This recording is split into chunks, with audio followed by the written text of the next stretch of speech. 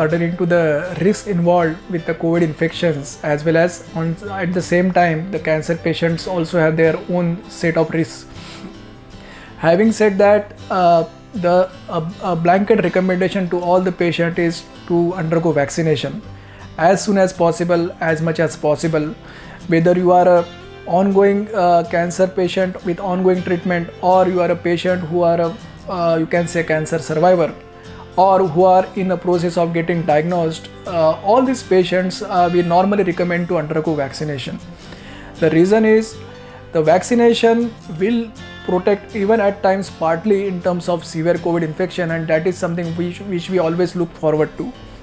Now there are very specific subset of patients who uh, maybe uh, wait who, who might have to wait for the vaccination. Now these are the patients who are actually undergoing some stem cell transplant or who are recently undergone stem cell transplant where the immunity is extremely low where a doctor can recommend depending upon the patient to patient case uh, can uh, can recommend about vaccination. But in general whether you are going for surgery or you are going for radiation or you are going for even chemotherapy even though at times the chemotherapy may mount a lesser antibody response, still we definitely recommend all the patients to undergo COVID vaccination.